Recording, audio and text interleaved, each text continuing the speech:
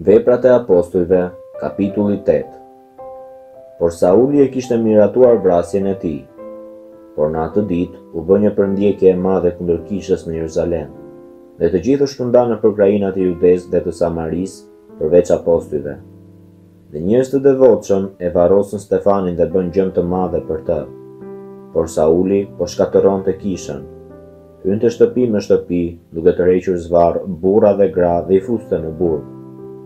Ata, pra, që u shpërndanë shkonin rreth e përqark, duke shpallur fjalën.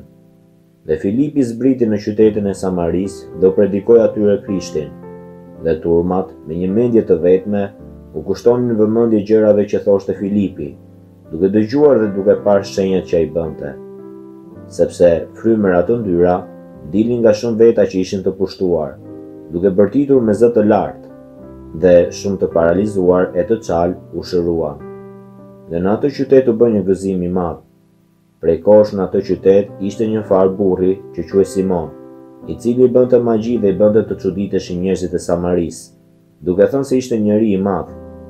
Dhe të gjithë, nga i vogli deri tek më i madhi, i kushtonin vëmendje, duke thënë, Ky është fuqia e madhe e Perëndisë.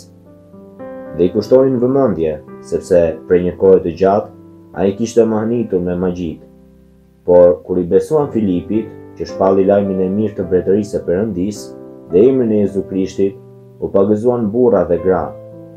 Besoi edhe Simoni vetë dhe, si u pagëzua, rrinte vazhdimisht me Filipin. Dhe çuditej, duke parë veprat e fuqishme dhe shenjat që ishin bërë.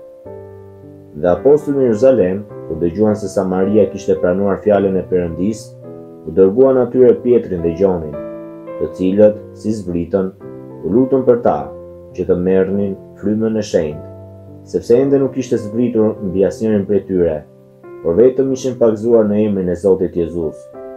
Atëherë vunë duart mbi ta dhe ata merrnin Frymën e Shenjtë.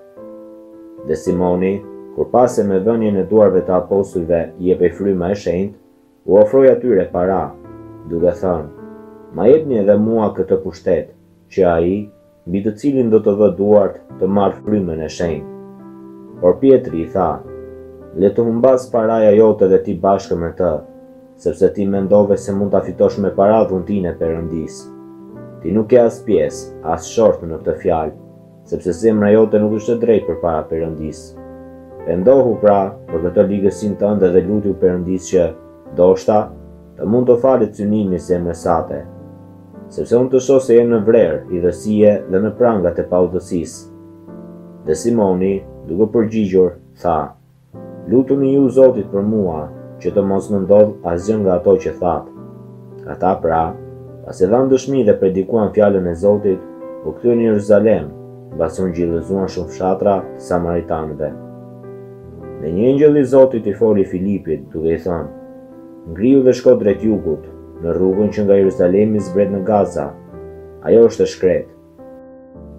Ai u ngrit dhe u nis. Dhe ja, një burrë etiopas, eunuk, një zyrtar i lartë i Kandaces, mbretëreshës së Etiopisë, përgjegjës i të gjitha thesareve të saj, i cili kishte ardhur në Jeruzalem për të adhuruar, tani ai po kthehej dhe, i ulur në karrocën e vet, lexonte profetin Isaia. Dhe fryma i tha Filipit, Afrohu dhe ngjitju asaj karroceje. Filipi iu turr afër dhe dëgjoi atë duke lexuar profetin Isaia dhe tha, A e kupton vallë atë që lexon? Ai tha, E si do të mundja, po s'pata një që të më udhëzojë? Dhe iu lut Filipit të hipë dhe të ulet pranë tij. Dhe pjesa e shkrimit që ai po lexonte ishte kjo, Atë e çuan si delja për t'u therur, dhe ashtu si qengji është memec përpara qethtarit, ashtu ai nuk e hapi gojën e tij. Në përuljen e tij u ngrit gjyqi i tij. Po, kush do të mund ta përshkruajë brezin e tij? Sepse jeta e tij ngrihet nga toka. Dhe eunuku, duke përgjigjur Filipit, tha, Të lutem, për kë e thotë profeti këtë? Për veten apo për ndonjë tjetër? Atëherë Filipi hapi gojën e tij dhe, duke filluar nga ky shkrim, i shpalli Jezusin. Dhe, ndërsa po vazhdonin rrugën, arritën në një vend me ujë. Dhe eunuku tha, Ja ujë! Çfarë më pengon të pagëzohem? Dhe Filipi tha, Nëse ti beson me gjithë zemër, mund ta bësh. Dhe ai u përgjigj duke thënë, Unë besoj se Jezu Krishti është Biri i Perëndisë.